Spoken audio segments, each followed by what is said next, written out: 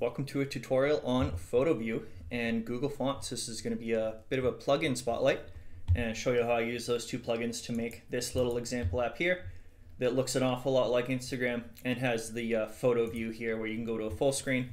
And then it's a bit awkward with the emulator, but you can pinch to zoom. There we go. And then pan around with your photos. So in order to do that on an emulator, you got to hold down control. And then it's got the hero animation to return back to the um, where it was in the list. So yeah, let's get into it. So here's the lesson plan here. So we're going to go over the plugins used, uh, look at their um, pub page on the website there, uh, then do some setup for what we need to do to be able to use them. There's almost no setup, but we do need to do one thing in the Android manifest. Uh, then we're going to look at the home screen, which is this screen, and the app bar and how I use the Google Fonts there. And then the post component, which is in the list view here, and then the post screen, which is really just the photo view plugin. Okay, so let's get into it. Let's go into the plugins used. So here is the photo view. Uh, photo view is an incredible plugin. It's so easy to use and it gives you this um, gesture detection that's really would be really really hard to make. Pinch, rotate, and drag images. Uh, but it's not just images, it can actually show any widget. So if you have some other thing like a table or something like that, and you want your user to be able to pinch to zoom and scroll around if it doesn't fit very well on a screen, uh, well then you can do that, including text as well. Um, so it's awesome plugin because all you got to do, very basic usage, is just use this component that they made, and then you got to give it an image provider. And an image provider is a little bit different than an actual image widget. Uh, I'll show you how to do that. It's not very hard. And here's the result. You get this pinch to zoom type uh, deal. And it also has like a photo gallery. I'm not going to go over the photo gallery, but it's a, it's a pretty cool component. You can uh, read more if you'd like. And then here's the Google Fonts. Google Fonts is by far the easiest way to add new fonts to your Flutter app. There's 977 of them and variants. And the only catch is that you need internet uh, to be able to display them. So that's really the only disadvantage is that it needs to look up the font online. Uh, if they're baked into your app, you know, if you actually have the file that defines all the fonts, then that might be better if your app might be seeing a lot of offline usage. Um, but all you got to do, as they show you here, is just give it a text style, and they got a whole bunch of factory constructors and static stuff to play around with to change your fonts. And you can see they hot reload the different fonts there. So that's how I made the app bar have italics up there. Uh, and if you're looking for all of the fonts, they're all on the fonts.google website, and you can search up what kind of thing that you would like. So I made a search for handwriting to find that Instagram type thing and then just picked one of these.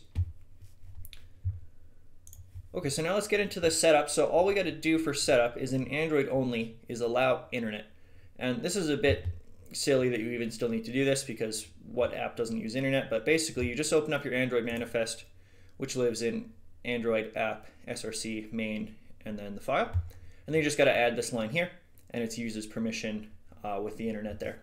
Uh, this is a bit weird because if you don't do this in debug mode on the emulator, it'll work fine. And then when you go flutter run release, and this is release mode, so it's a little snappier, uh, you won't have internet and none of the images will display. So all of these images are network images um, that I've ripped off of the internet, and they don't load when you're offline, obviously, but they also don't load if you forget this. So just add that in there. That's all you really got to do. And then in the, uh, the other setup, obviously you just got to put your dependencies into your pubspec.yaml, click on pub get there, and then you got your plugins. Uh, the other setup I'm going to show you is a view model. So this is the data that a post has. So it has a whole bunch of URLs for the different network images and numbers of comments and stuff like that. And I've just hard coded it for this example, but um, you could imagine if this was a real app, you know, all of these different things might be coming from different uh, storage buckets or stuff like that to display these images. So I've just got um, the username here, the post content, uh, which is the text, the profile image URL, which is this image, uh, post image URL, which is the main post. First liked by is this guy's name. First liked by profile image URL, so this tiny little image here. A list of string of usernames who have liked it, and then a list of string for comments. And then there's just a couple little helpers here. Uh, the preview, so I've capped it at 110 characters. If it's less than that, then it'll just return it, but trim off all of the new lines in the white space and if not, then it'll cut it off so you get the dot dot dot there. And then this little uh, helper here to generate the liked by, liked by this guy and however many others. And similar one for the comments, view and comments there. then the constructor, and then I just hard coded a bunch of you um, stuff and found some images on Instagram actually to make it look like Instagram. So it's just some factory constructors for the two examples there. All hard coded, obviously, just an example of UI. It's not a functioning app. These buttons don't do anything yet. Uh, but yeah, that's our setup for, uh, so I can show you how the UI is actually going to work. So now let's take a look at the home screen. And first, I guess, actually main for the app theme. So the app theme, I have started with theme data.dark as a starting point, and it is uh, very close to what I already want, except I want the app bar theme to be black and the scaffold to be black. Uh, on Instagram, when you have dark mode, the app bar and the background are all identical colors, uh, which is just pretty much hard black. And then I changed my divider color here, so it's just this subtle kind of gray, um, and that's all I needed to adjust. So let's go into the home screen now. So the home screen has some hard-coded um, data. You know, obviously this would need to come from a server if it was a real app, uh, but it's just static final up here. And then we got our app bar here. So the app bar has this Instantgram knockoff here, and all you got to do to use your Google Fonts is just go Google Fonts dot whatever font you want, and then inside that you have a whole bunch of things that you can add in, just like a text style. You can put an actual text style, the color, the background color, font size, all this sort of stuff.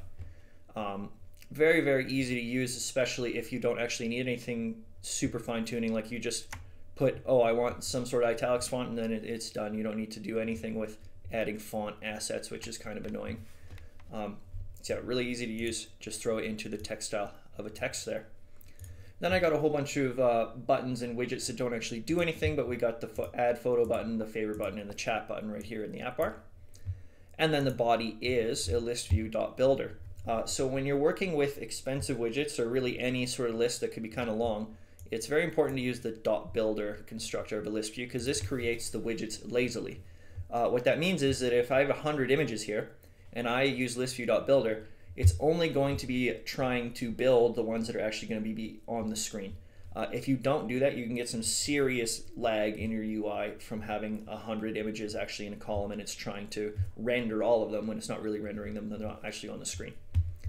Um, but yeah, to use that listview.builder, we just got to pass in the item count so that we don't overflow our array. And then my post component just needs the post view model, so I just pass it post view models I there. Um, you can put padding internally into the list view. This is a really handy tip. So if you want your list view to scroll such that there's a bit of bottom padding so that something like a sheet or a floating action button is completely cleared so that it's not covering half of the last post, you can just put some bottom padding on here and that will be built into the list view for you. So you don't need to wrap your list view with padding. And the reason that you don't want to wrap the list view with padding is because see how flush it actually lines up here? If we put padding on the list view itself, we're going to have an empty space here of like black, and that's not what we want. We want it to be perfectly flush, but we want the padding to be like kind of on the edge of the actual content within the list view. Okay, so now we have this bottom sheet. It's just a uh, container with a row in it to align it. So this is the kind of bottom bar. And again, none of these buttons actually do anything. Uh, they are just icons there to show you just how the styling might work. Um, so we got a container with a box decoration and this is not a divider, this is actually just a border. So to put a border on a container, all you gotta do is pass it that box decoration, give it a border, and if you only want certain sides of it to have a border, you can just use the border constructor and pass it in whichever sides that you actually want. So I just want the top and I want it to be that same, uh, well, similar divider color. It's not exactly the same, but this one's, yeah, just a shade of gray with the width there. So it's a hard-coded height of 50, and then we got these buttons here spaced evenly. Okay, so that wraps about wraps up the home screen. So next, let's look at the post component. So that's one of these elements in the list. That's right here. So the post takes in a post view model. This is the data package.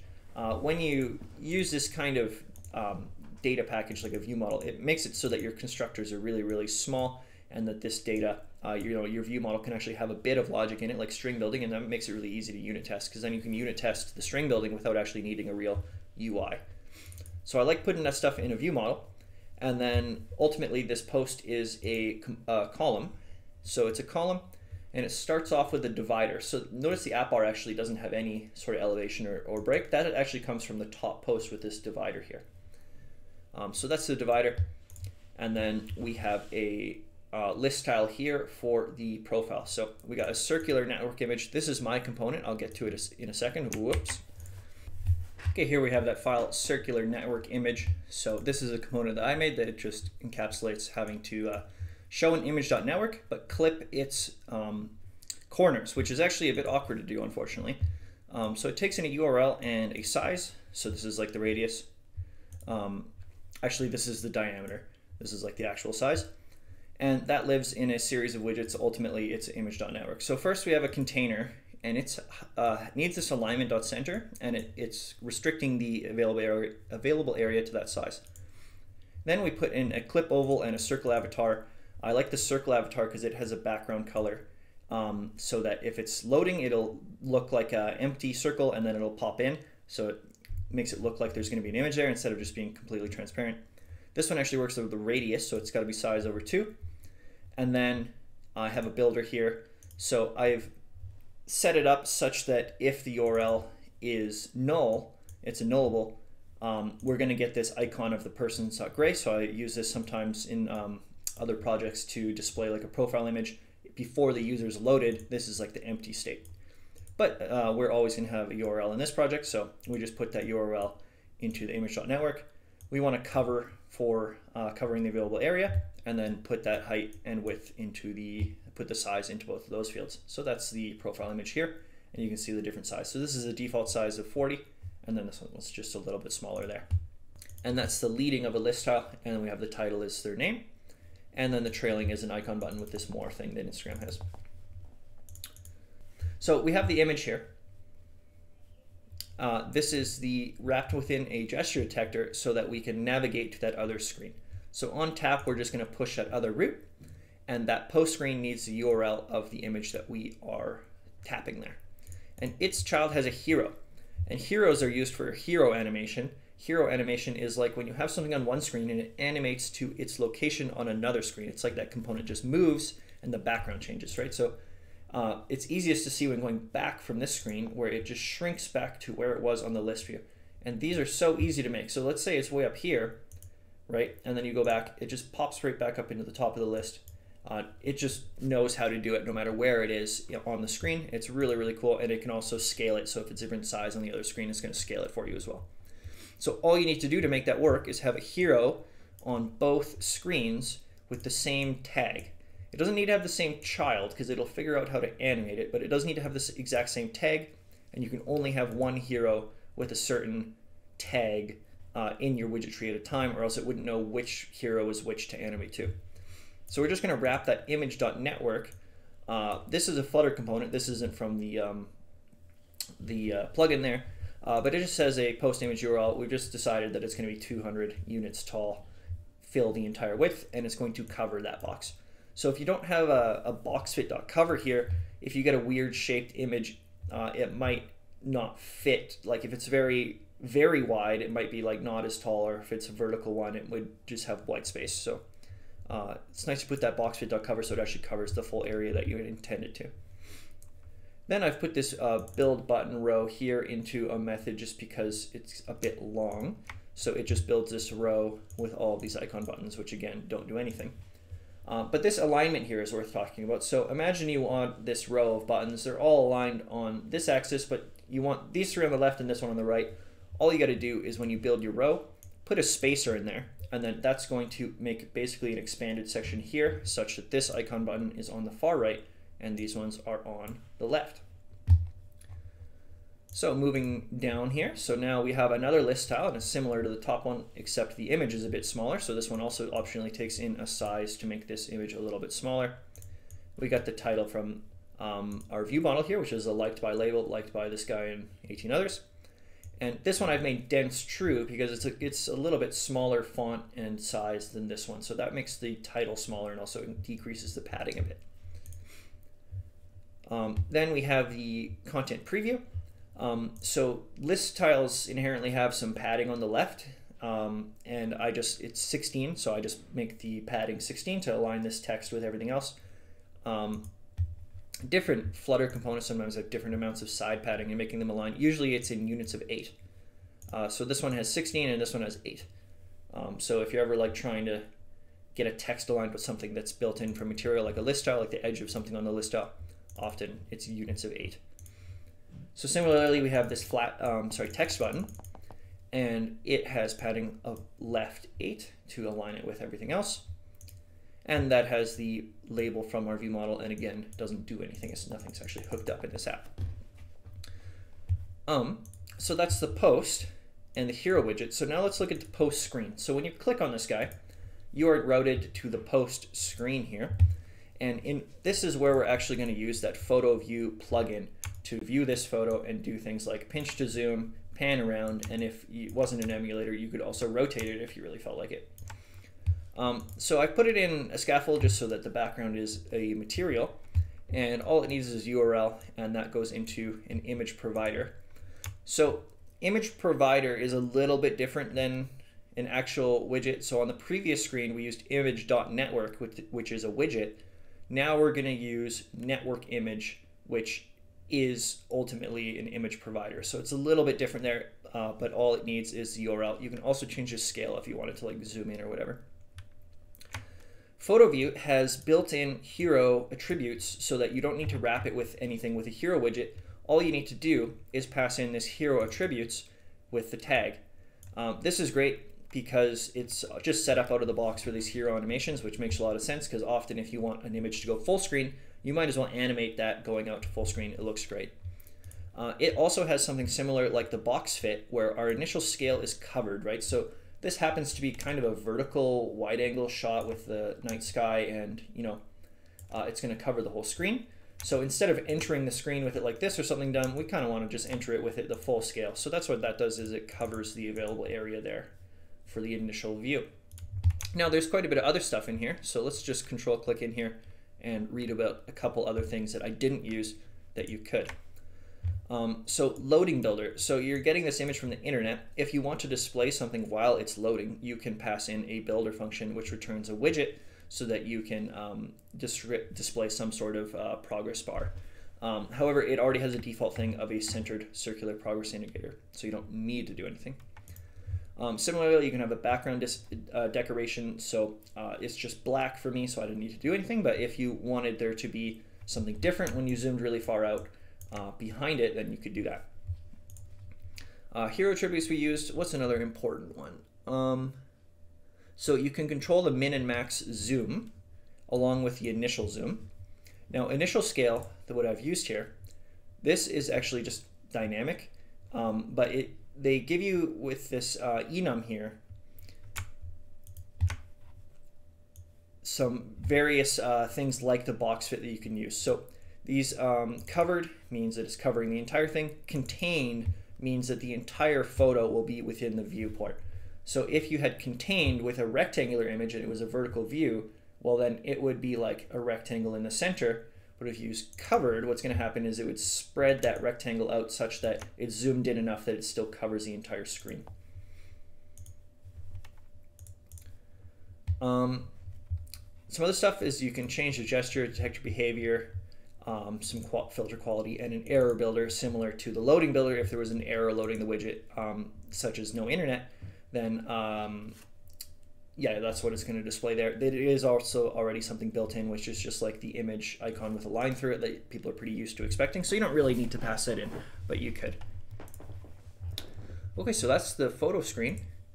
And that's the whole, whole tutorial. So I hope you enjoyed Instagram 2 here and can see the power of this uh, awesome plugin and how easy it is to make something that looks very, very good very quickly in Flutter.